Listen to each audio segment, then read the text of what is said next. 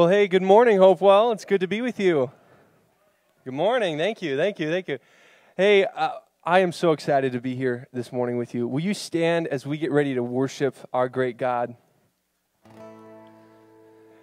I know it's a little dreary out there this morning, a little gloomy at times, um, but this morning we're going to sing Your Love Awakens Me. We're going to talk about the love of God. And then right after that, we're going to sing Cannons and we talk about the holiness and greatness of God. And then we're going to sing What a Friend We Have in Jesus. And I think it's really important that we recognize that because of Christ's love for us, we can actually truly appreciate his greatness and his holiness because we get to be near to Him. We get to be alive in Christ. So then we can truly understand and appreciate God's greatness. And then, because we appreciate His greatness, we can live in a place of humility and relationship with Him. And we understand what a friend we have in Jesus, and we can take everything to Him in prayer. So this morning, will you bow your heads and close your eyes as we pray? Heavenly Father, thank you so much for your love that awakens us, that makes us new. God, thank you for the new life we have because of your Son. Lord, you are holy and mighty. You're so great and so awesome. All glory and honor and power belong to you forever. Amen. God, what a friend we have in Jesus. Thank you. This morning we want to take it all to you. In your name we pray. Amen.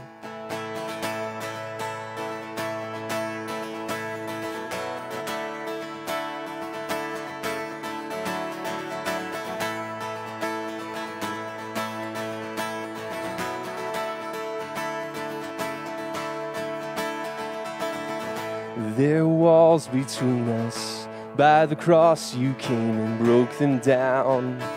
You broke them down.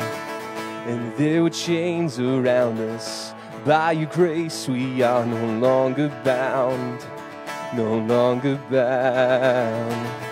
You called me out of the grave. You called me into the light. You called my name, and then my heart came alive.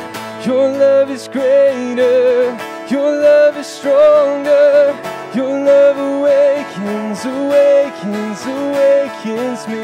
Your love is greater, your love is stronger, your love awakens, awakens, awakens me.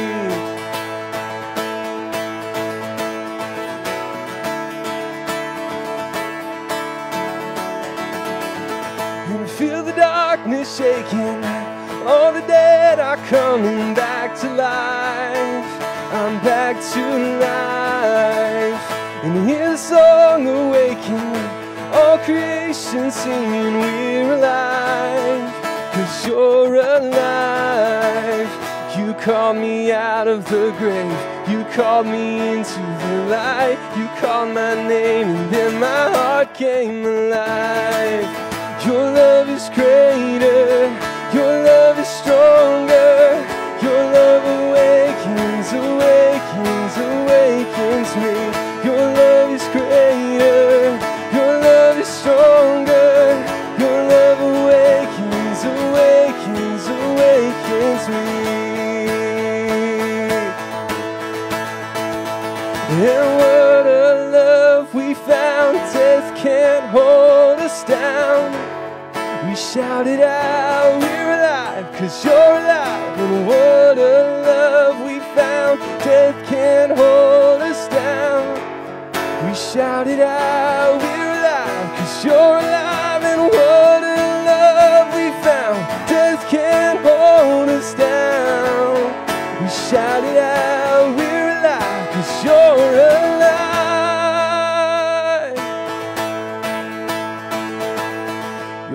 Love is greater. Your love is stronger. Your love awakens, awakens, awakens me. Your love is greater. Your love is stronger. Your love awakens, awakens, awakens me. Your love is greater.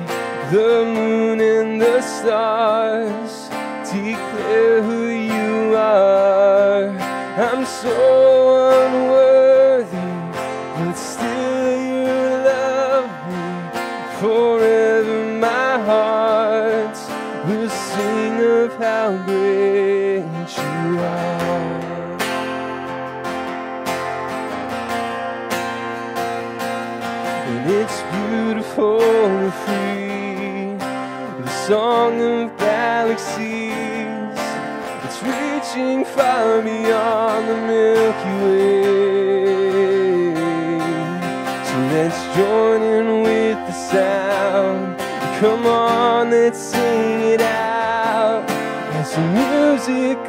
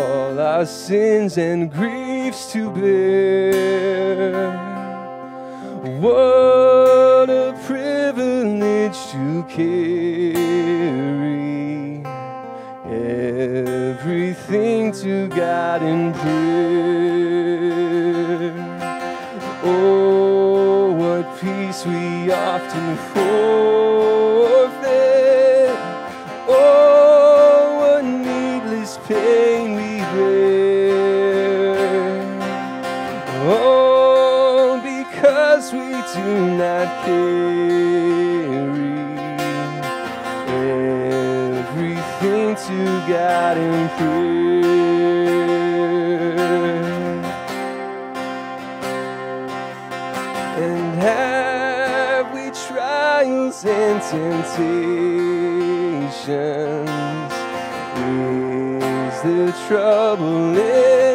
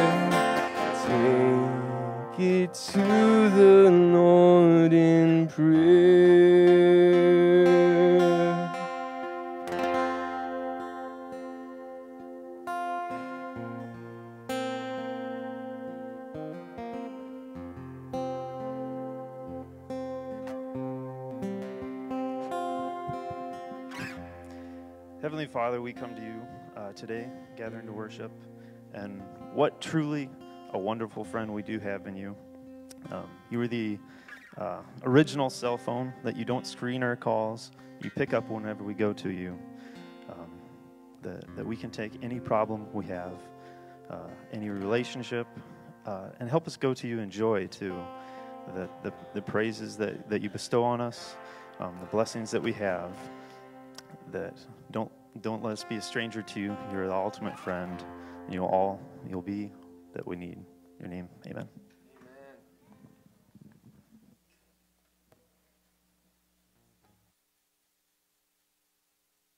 For those who don't know, that's Jamie Deemer, one of the elders at Hopewell Church. Thank you. Thank you for praying. Hey, um, on a fun note to start off with, we had a good party with you the other week. It's been a fun couple services together. We got to do outside last week, uh, but the week before we had the band in, I believe, and we had the Great Hopewell Bake Off. And so before the Bake Off, uh, Becky and I were talking, wanted to do something special for the winner uh, and start a new tradition among us. So uh, I'm going to publicly, you know, award some stuff today. Um, and if you're jealous, that's a good thing. Um, you'll never hear pastor normally say that, but it is because uh, you, you can bring your A game for the next one and try to get yourself a, a spatula, which uh, Becky said looked bigger in pictures, but it is hopeful. And, um, oh, yeah, uh huh. hmm Yeah, yeah. I mean, let me just, let me just do a little Vanna White here. So, uh, you know, this could be you. Llewellyn Drake, would you come on down for the winner of the, of the 2021? Yep, yep. There you go. Thank you, thank you providing unhealthy desserts for us to eat. Appreciate it. All right. All right, kids, you are dismissed to kids ministry. And as as the kids leave, look at these happy kids. Look at the joy on their faces. And you know what? We want to bring more joy to those little kids' faces with VBS coming up. As you see, I, am wearing a T-shirt today, not my normal, but it's a special T-shirt. We're getting ready for VBS in, in two weeks. So wanted to say thank you. Uh, we have attendance higher than anything we've had uh, in, in Becky and Angel's, what, 13 years of, 10 years of leading. Um, so we're really grateful for that. Really strong attendance for the VBS this year. We have enough adult volunteers. Thank you. All the tags were taken. Thank you for those that took tags and, and uh, brought supplies. Uh, we have two more requests of you, three actually. Um, first, after the service today, if you would help stack chairs, Becky would kind of help direct, but we need to take down almost all the chairs in here to use the space for ministry and decoration because this sanctuary will look very different next week. We're doing an outside service next week, so it'll take about two weeks to get this sanctuary looking like it should. And uh, this upcoming Friday night, you are all co- most cordially and desperately invited um, to come help uh, set up for the VBS and, and do some, some decoration, especially people that are fine being on ladders. So, per Becky and Angel's request, if you are planning on being, being here Friday to help, and serve. You don't have to be a volunteer the week of, but if you can come this Friday to help volunteer, would you raise your hand? She wants to get a rough count so that she can order pizza. So. Oh, oh, thank, oh yeah, honey cuts. Thank, I see that hand. I need five more hands. Can I get another hand? Another hand. Another hand. Another hand. All right. You good, Becky? All right. Um, two more notes. Uh, sorry, the third thing. Um, tear down chairs, Friday night work night, and I, I, I, sincerely mean this. We, we really need your prayers. I mean, I, I mean, just let's just be frank here about what we're doing. A VBS, the, the heart of a VBS is having young people who don't know Jesus yet or are just starting their path on Jesus, encountering him, being transformed by him through salvation and the empowerment of the Holy Spirit, and having a whole life that's radically changed because of the seeds planted in these weeks. We are hoping for supernatural work in these kids' lives. And any supernatural ministry needs God's supernatural hand. We do not have the capacity in and of ourselves to do this. We can host a fun VBS. We can do that. That's in human ability and strength. But we all know that ministry is something of the Lord that we need His help and blessing and His Spirit's provision for. So I, I say this with all seriousness. Please, please pray. Pray. I am not interested in doing a VBS just to have fun for a week for my kids. It's not worth it. I am very much interested in kids meeting the Lord. And we want to pray for that hard. Yeah, would you please pray for us in the next coming weeks? Make a note of it. However, you remember things that are important to you, and just say a short prayer, long prayer, uh, whatever. Say a prayer, please. Young adults are meeting weekly. Uh, Cody is here in Bethany. Would you, would you raise your hand, Cody? Uh, maybe there's some, yeah. Their hand raised. Say hi, Cody. Yeah, yeah, yeah. So Cody and the young adults are meeting weekly. Um, Jody is also serving. She's at, they are up, up in Michigan most weekends during the summer. Also, we have a TinCaps game sign up back there if you want to uh, enjoy a TinCaps game that's coming up as a church. Um, outside services next week. The last thing of announcements is our monthly prayer focus for July is for one of our sister United Brethren churches called Olive Branch United Brethren. There is some pretty cool, pretty interesting news about this. They are legit famous um, for all the wrong reasons. Um, I, I, was going to leave it as a teaser, but I probably shouldn't end it on that. No, that's probably too much of a teaser. Um, you can, you can actually, they're, they're, about 20 something years ago, the pastor didn't show up for service. And like, where's the pastor at? They go over to the parsonage, and he and his wife and what one or two of the ki- two of the kids were all murdered in the parsonage. Like that, they found that out. And so, so when I when I got to know Wesley, who's the current pastor, he was doing his doctoral his uh, dissertation about his master's dissertation about this and the long-term repercussions. But there's actually a, a, a, history, a true crimes podcast out now, and it's like legit. So all that to say, that church is in need of some prayer. Um, it, no, they're doing great. Um, they, they're, sorry, that was a bad transition. I didn't plan that. That was all. Olive Branch United Brethren is in Lakeville, Indiana, which is about 11 miles directly south of South Bend, and there's about 800 people in the community. So this is a, a, small church with a nice long history, and Wesley is working on a turnaround for them, and, and, there's new vision, and some new families are on board. But we want to pray for our brother Wesley in, in Olive Branch for, um, for you know, leaders to step in and help own ministry, and for a uh, vibrant, compelling vision for them, that they might be effective at reaching their community for the Lord. And we do definitely want to pray for them. And I, I think about it, and you know, we know as, as an American culture, bigger was always better. But what does it mean to be a faithful pastor in a faithful church in a town of 800? You know, you're not going to be a megachurch, and you don't have to be to be faithful and honored by God, right? Faithfulness is the reward. Faithfulness is the goal. So we want to pray for them that they would be faithful um, in, their, in their call and reach their community. So let's just say a prayer for these couple things, and then we'll jump into the sermon proper. Again, I want to say thank you for VBS coming up. And just pray again that, that real life, eternity change would happen. Thank you for the young adult group. May that be a vibrant community that is um, full of trust, full of centeredness on you, Jesus, full of deep community and relationship, and that it helps uh, young adults to, to cement their worldview and their lifestyles around you. Pray for um, Olive Branch United Brethren. I pray for Pastor Wesley and his church leadership that they would have a powerful, clear vision of what it means to reach Lakeville for the Lord, to reach their neighbors and their community. Thank you for the, the cool things that are already taking place, but God, we ask you to further and advance that, and that you would call and work in the lives of people, that they might be there and strengthen that church. They may continue on a long and um, wonderful history of being effective for you. In Jesus' name we pray. Amen. This year is about prayer right? That should, should be no news to anybody unless you're a recent guest. But the big point of 2021 as Hopewell Church is to learn what it means and to take the few, first few steps on being a praying church. And so we're trying to make changes right along that. But today, in the next couple weeks, we're going to do a couple sermons about prayer to help highlight that before we jump into the book of Hebrews, which will start this fall, our next big work. But this summer, we're doing some topical. We wanted to do something about prayer. The Christian religion is unique. It's truly unique. Not only for the obvious uniqueness that it's the only true religion, but what God wants from us in this relationship is unique. Look at the major religions of the world. The Muslim religion, paradise is for those that are faithful enough at the five pillars of Islam. Are five main obedient actions the, the praying, the uh, journey to Mecca, the almsgiving, you know, etc. If you do those well enough, you get to go to heaven. You look at Hinduism, Buddhism, and their belief in karma, that those who reach the one or nirvana are those that have stored up enough good karma by doing the right actions. Or look at the Jewish faith, especially Second Temple Judaism. At the time of Jesus, it was centered on the rules and the extensive law. God approves of those who are obedient in every little tiny aspect of their life. That's how you get God's approval. We look at all these major world religions and see at their core, their God wants obedience in impersonal, impersonal adherence to the rules. The divine being in the major world religions is not interested in the thing that the Christian God is primarily interested in, which is relationship. Relationship.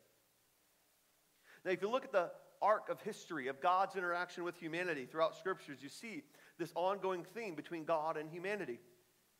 Humanity, his people, it, it is this God pursues relationship with his people. Now, let me caveat Does God still desire and want our obedience? Absolutely. If you love me, you obey my commands. But that's not the heart of the Christian faith. Obedience is designed to be a fruit and a result of the relationship, never a replacement for it. In Genesis 3, we see that God walks with Adam and Eve in the cool of the day. We get a picture of intimate, personal fellowship. That was a regular habit for God to walk in the garden and spend time with his created beings. We see a covenant relationship between God and Israel. In fact, when Israel would go astray from the covenant, he would call them what? An adulterous people. And the very fact that he would call them adulterous means that this relationship is almost like a marriage with friendship and fidelity and deep relationship and intimacy. And so when you break it, you're adulterous because of what the relationship is supposed to be. Moses would meet with God face to face in the tent of meeting. Our God is our Father, and He's a good Father, the best of fathers, and He desires relationship with His kids. The Holy Spirit indwells us to be our constant companion and friend. Jesus walks with his disciples for three years before his death and resurrection. Is there any real reason why he needed to come three years in advance and do, into his public ministry? Does the atonement need three years of precursor ministry before he dies on a cross? What motivates that three years? God desires relationship with his people. He always has. And every act of discipline from God in our lives is aimed at restoring relationship. Every command is intended to maintain right relationship, and salvation is offered to bring us back into relationship. And heaven, the great reward of our faith, is a place of perfect relationship, unbroken relationship between us and our good Father and our King and our God. God is primarily concerned about relationship with us, and He always has been. Now, let me add one more piece to your thinking before we step into the text of the day.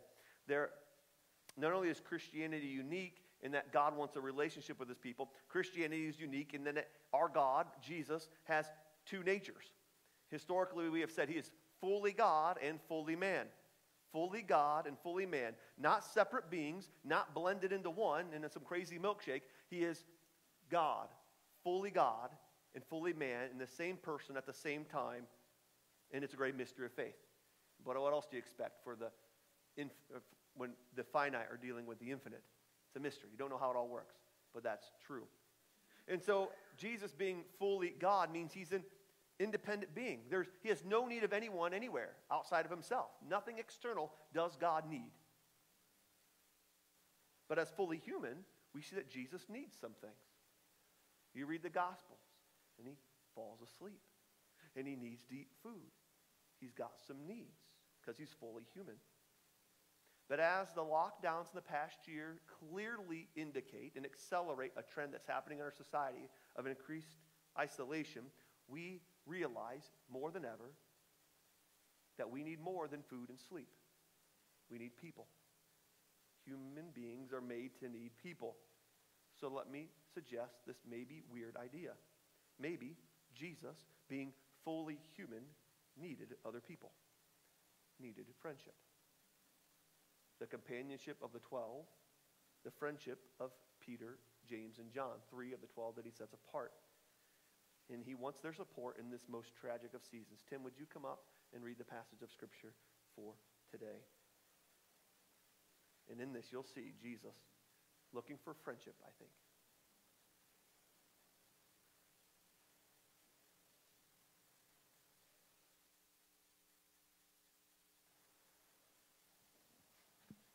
Morning. This morning's passage you'll find in the Gospel of Matthew, chapter 26. Uh, for those of you that have a Pew Bible, it's on page 996. Chapter 26, verse 36. Then Jesus went with his disciples to a place called Gethsemane, and he said to them, Sit here while I go over there and pray. He took Peter and the two sons of Zebedee along with him, and he began to be sorrowful and troubled. Then he said to them, My soul is overwhelmed with sorrow to the point of death. Stay here and keep watch with me. Going a little farther, he fell with his face to the ground and prayed, My Father, if it is possible, may this cup be taken from me. Yet not as I will, but as you will. Then he returned to his disciples and found them sleeping. Couldn't you men keep watch with me for one hour? He asked Peter. Watch and pray so that you will not fall into temptation. The spirit is willing, but the flesh is weak. He went away a second time and prayed, My Father, if it is not possible for this cup to be taken away, unless I drink it. May your will be done. When he came back, he again found them sleeping because their eyes were heavy. So he left them and went away once more and prayed the third time, saying the same thing. Then he returned to the disciples and said to them, Are you still sleeping and resting? Look, the hour has come, and the Son of Man is delivered into the hands of sinners. Rise, let us go. Here comes my betrayer. Thanks, Tim. Here in the garden, we see Jesus pursuing relationship through prayer and with prayer. In this moment of crisis, the reality of Jesus' arrest and torture and death and being forsaken by God is upon him, and he is deeply troubled. And Jesus turns to God in prayer. Side note for the sermon today How do you respond in moments of crisis in your life? Do you respond by relying upon prayer? And I think many of us would either do that already or desire to do that. But I want to note that Jesus prepares himself for praying in this crisis moment by praying faithfully throughout his life. The time to prepare for a crisis is before it, not during it. The time to put on your seatbelt is before the car wreck, not during it. Prepare for difficulty by regularly going to God in prayer before it happens. But you see, Jesus, the God in the flesh, the perfect human being, models a strong dependence upon the habit of prayer in his life. There's value in reading Scripture at a very slow pace and digging in very deep. There's also value at times in reading large swaths of Scripture at a time. And if you read large swaths, patches, sections, chapters of Scripture in a go, you, you get some notes in the life of Jesus. Look at what he does. At the beginning of his ministry, he spends time fasting in prayer. Luke 4. To prepare for ministry, he prays. At the end of a tough time of ministry or of work, he prays. You want to recover from a day of work? Prayer. Jesus placed his hands on little kids and prayed for them. Matthew 19, 13. To bless others, pray for them. Jesus walks on water and then calls Peter out to walk on water with him, right? A famous story that's inspiring to many of us. Matthew 14. But the whole reason why the disciples were in that boat and Jesus isn't is he sent them ahead of him so he could pray. Prayer sets the stage for powerful acts of God in our life. A lot of lessons we can learn from Jesus on prayer. Luke 15, 16, Jesus often withdrew to lonely places and prayed. Jesus had a perfect relationship with God the Father, the relationship that all of us deep down inside long for. And Jesus prayed, and he prayed often. So we cannot ignore the truth that's staring us in the face right now in the life of Jesus. God wants a relationship with us. And we build that relationship through prayer. So I ask you is a servant greater than his master? Are we somehow greater than Jesus that we don't need to regularly rely and depend upon prayer for power, rest, relationship, and to see powerful ministry happen? If Jesus, God in the flesh, relied upon it, should we not as well? We need to pray. We need to pray. It's the primary avenue for relationship with God. But not only does he pray, he invites friends along with him. You know, turning your attention back to the passage at hand with Jesus' prayer in the garden, you notice how Jesus invited his friends to pray with him. In this moment of crisis, not only did Jesus turn to God in prayer, as was his regular response, he took his close friends with him. And taking with him Peter and the two sons of Zebedee, that'd be James and John, he began to be sorrowful and troubled. And he said to them, My soul is very sorrowful, even to the point of death. Remain here and watch with me. And going a little further, he fell on his face and prayed. Why do you think Jesus invited the 11? Judas was gone at this moment. He's going to be coming back soon with some friends. Um, why do you think he invited the 11? And then those three, those special inner circle three with him to prayer. Do, do you think Jesus actually needed their prayers to accomplish God's will for his life? Well, I think the easy answer to that is no, because they fell asleep. So certainly the disciples didn't pray much or didn't pray at all. Why did Jesus invite them to prayer?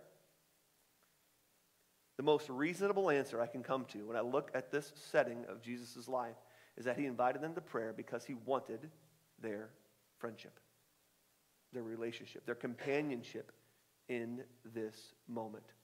One of the most painful of all moments for him. Jesus wanted his friends by his side. So, of course, you know, he falls asleep. Or not he, the disciples fall asleep. And so what does Jesus say, right? He comes back to them and says, So you could not watch with me one hour? And Tim emphasized it well. In, in the Greek, you get some emphasis here. This is not a, a casual writing off of what they did. There seems to be real disappointment and emotion behind it. Jesus is like, Oh, you happen to fall asleep. No big deal. It's no, you couldn't keep watch with me for one hour? Jesus cared. It wounded Jesus to some degree that his friends fell asleep on him. As one writer said, in this passage, we see the loneliness of Jesus. Again, Jesus, being fully human, had needs to eat, to sleep, but maybe he also needed relationship. In this passage, we see him desiring that. Let me put together, I think, which is an interesting thought to, to us today to think about we often talk about prayer in terms of our needing to pray, right? And I've already introduced that idea to you today. As the writer of Transforming Prayer, one of the books we're using this year to help us guide our prayer life, said, you know, He is worthy, we are needy. And that is absolutely true. But you, have you ever considered that maybe Jesus, the fully human aspect of Jesus, right? He's two natured, fully God, doesn't need anything external, fully man. Do you think that part of Jesus wants us to pray because he desires a relationship with us? That he gets some type of joy or satisfaction. Maybe part of the reason why we go to prayer is not just so Santa Claus gives us something because we are in need, but we can bless him somehow in return by entering into that relationship with him.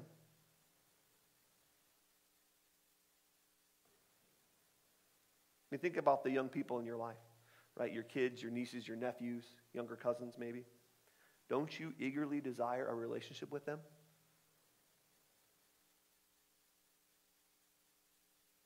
You know, I have young kids, and, and while I had to spend a lot of time correcting their behavior, I, I don't want just their obedience. I, I want the relationship. I want to enjoy my kids and know my kids, and I want them to grow up knowing me and having a relationship with me because good fathers want relationships with their kids. He's our good father, He wants a relationship with us. Jesus cultivated the relationship with God through prayer. Jesus invited his friends into relationship with not only himself as Jesus, but also with God through prayer. Maybe Jesus is inviting us again today into relationship with him through prayer. Let's talk about the third point spirit and flesh. Let me step back a little bit, right, and just speak to you frankly. Today, I'm trying to, to make a point that's obvious to anybody who's been in church for any length of time at all, and trying to do it in a fresh way so that we might consider it anew. And what is the point? That we should pray and that relationship with God is built and maintained through prayer. That's, you know, if anybody's surprised by that truth, I, I, uh, sorry, I don't, that was an off the cuff joke. I don't know where to go with that one. But I don't think anybody's really surprised by that truth, right? We understand that. We need to pray. We need a relationship with God through prayer. Every believer quickly learns that. But I, I need to talk about prayer again today because I know that many of us struggle with living this out. I mean, I, I, know I get, I get the privilege of knowing a lot of people well as a pastor. And I really do. I was talking to my wife, like uh, some pastors I hear, they're like, man, I don't really have anybody in my church I enjoy to be with. It's like, no, I actually like almost everybody in my church I really enjoy being with.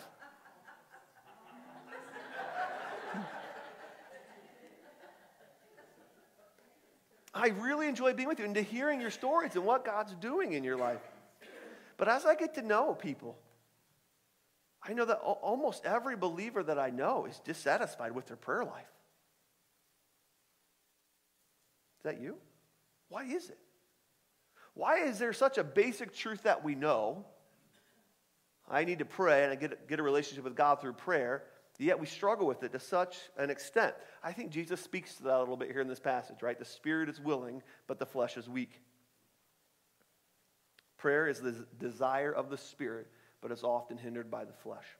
Now, what I'm not, what he's not talking about here is strict body spirit lines, right? It's not saying, hey, my body, this flesh is, uh, you know, my arms and legs, that's the problem, my spirit is good. That's not what he's talking about here. When scripture uses spirit and flesh, sometimes it's talking about that dividing line through every aspect of our being, that spirit is the part of me made new by God, aligned towards him, rightly desiring the things that I want to desire, that God made us to desire. And then there's the flesh, the selfish, centered, independent, prideful part of me, right? And the spirit and the flesh war against each other in the heart of man. Your spirit, the innermost parts of who you are, wants to be with God.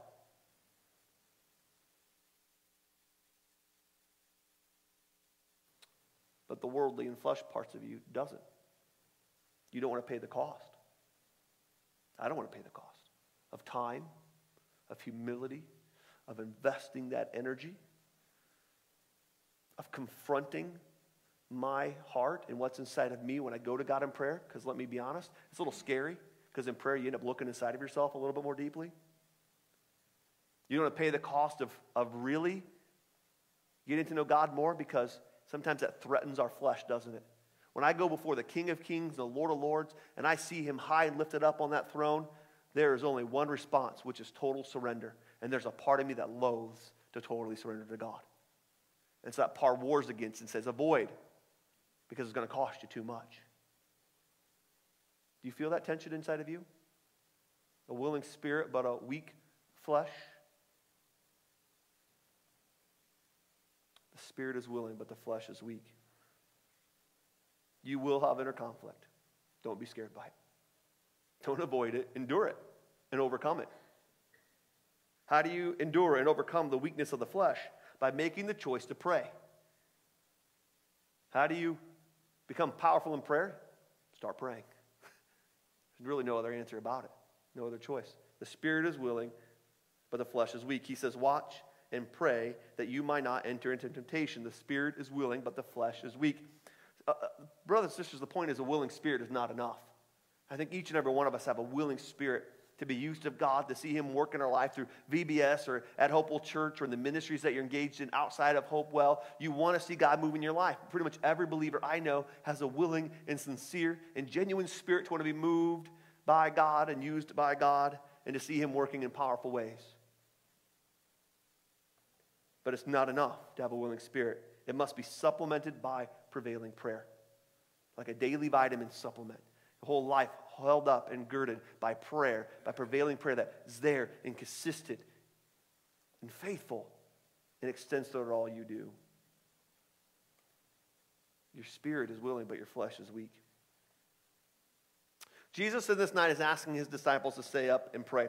In my study this week, I, I, found a fact like, how did I not know this? But it was a regular thing for the Jews in the Passover to stay up late, right? Because we all know things happen late at night. If you're a teenager, they're bad things. It was, a customary, it was customary to stay awake late on the Passover and speak of God's redemption. We're going to stay up late tonight. We're going to stretch into the hours of the night and, and burn the oil and be tired, but we're going to stay awake and remember how God is faithful in what He has done. And so these Jewish men have probably stayed awake almost every night of the Passover of almost their entire lives, including this week. Jesus says, Watch and pray. How do you combat weak flesh? Watch and pray. Let me translate watch and pray. Stay awake. Watch. Be alert. Watch. Be aware of the danger. Watch. Don't fall asleep. Watch. And pray. And pray. And pray. Let me ask you this. When's the last time you went to war against your selfishness, your pride, your insecurity, and sin by dedicating serious time to prayer? Say, I'm going to get on my knees, or I'm going to sit on this chair if you can't get on your knees, and I'm going to battle this out. And I'm going to go to God, and I'm going to wrestle with God in prayer. Have you ever spent a couple hours, or an hour, or 30 minutes in solid prayer? And better yet, have you ever done it with a brother or sister in the Lord?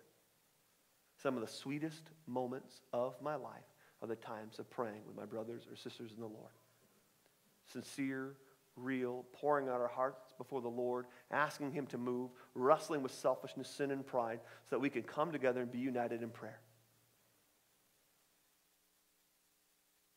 Your spirit is willing.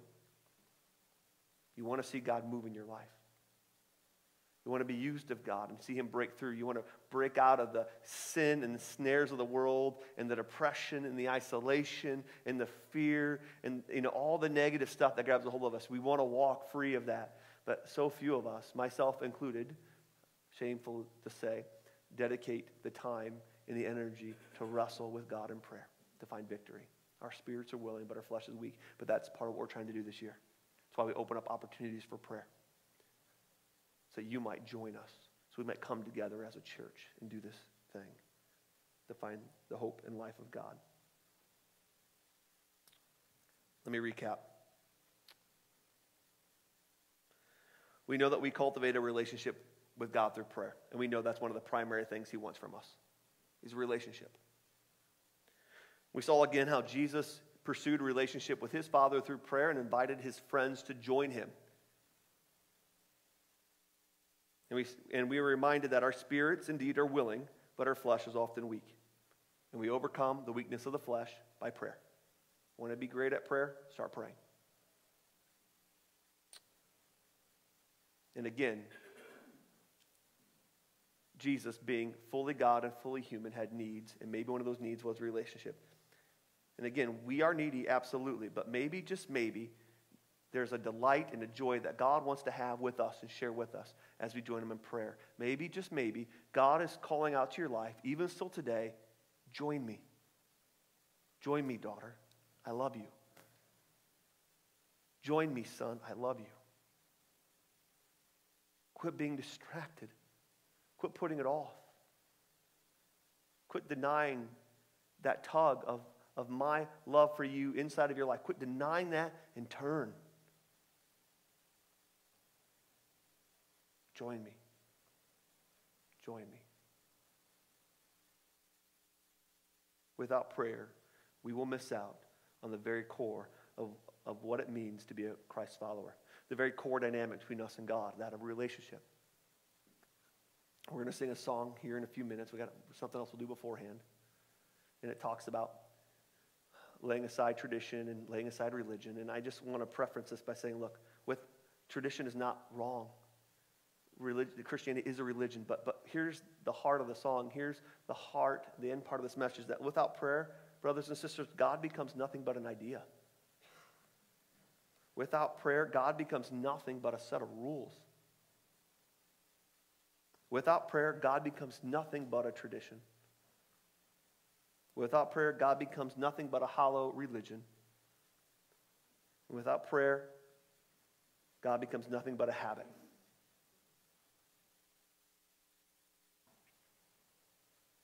Without prayer, you lose what it means to be a Christ follower. God wants a real relationship with us. Jonathan Edwards said it this way Let it be our first love, the thing we desire more than anything else, the thing we pursue above anything else, our first love in our lives, to enter into an everlasting friendship with Christ that shall never be broken. That's so good. Let me read it again. Let it be our first love to enter into an everlasting friendship with Christ that shall never be broken. Now, look, um, I, I, went a little bit shorter today. You're a captive audience for a few more minutes, so I'm going to I'm to try and bless us today by giving us a little bit of space. So what we're going to do is Jaden's going to come up here in a moment and play a little bit of instrumental music. And you can start now if you want, Jaden. And, and I'm just going to just pray. Like just whatever that looks like in your life, just pray. You just have a couple minutes to do it. And if you need to start with repentance, God, hey, I'm sorry for turning away, start with that. But then quickly move to the fact that He loves you and wants that relationship with you, and He delights in knowing who you are. Talk to Him today, would you? Amen. If you have a rocking prayer life, say thanks. And then pray for your brothers and sisters around you, because some of us might be struggling. But take a few moments and, and pray, and then Jaden will lead us in the closing song when it's time.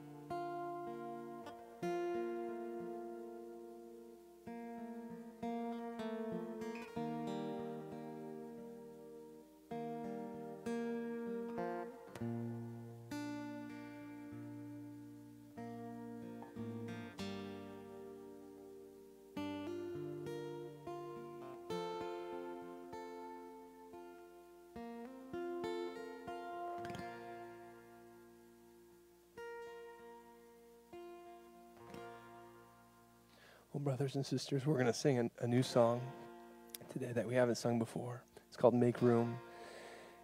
And, uh, you know, if you want to keep praying, please keep doing that. But as we sing this, we just want to make room for Christ to have his way in our lives, to surrender before him, to let him do what he needs to do, to get out of our, his way, to make room for him. So, as Ryan already said, the bridge goes, uh, says, Wake up my heart, stir my affection, tear down my guard and all my resistance, because your way is better, Jesus. Your way is better. Then we sang, Shake up the ground of all my tradition, break down the walls of all my religion, because your way is better. So, certainly, we're not abandoning our religion. We're not saying goodbye to Christianity, but we're embracing it because we are pursuing a relationship with Christ. So, if you are ready, please stand as we sing this together.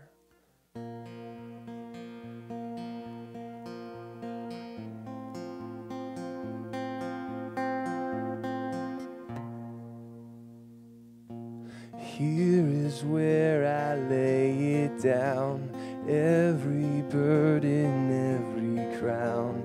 This is my surrender. This is my surrender. Here is where I lay it down. Every lie and every doubt. This is my surrender. This is my surrender. And I will make room for you to do whatever you want to, to do whatever you want to. And I will make room for you to do whatever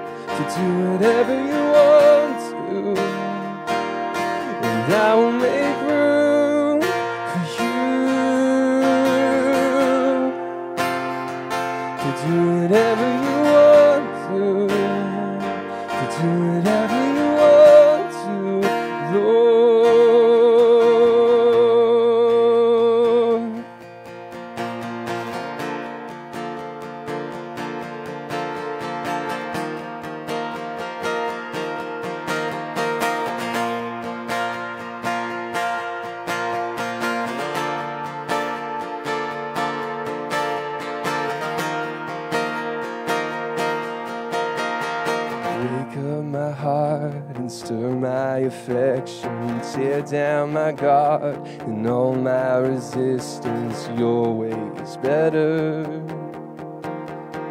Your way is better. And shake up the ground of all my tradition. Break down the walls of all my religion. Your way is better.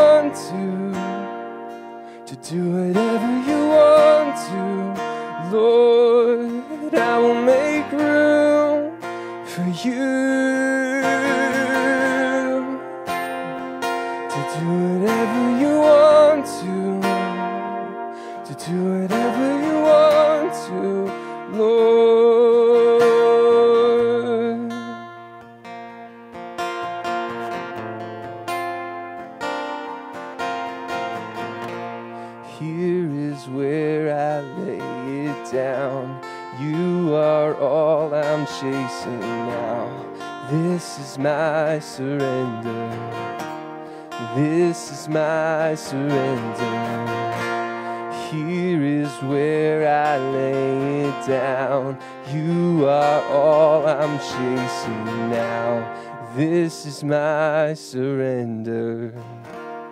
This is my surrender. Heavenly Father, this is our surrender. God, we come before you. Lord, we ask that you would change our hearts, that you would wake us up.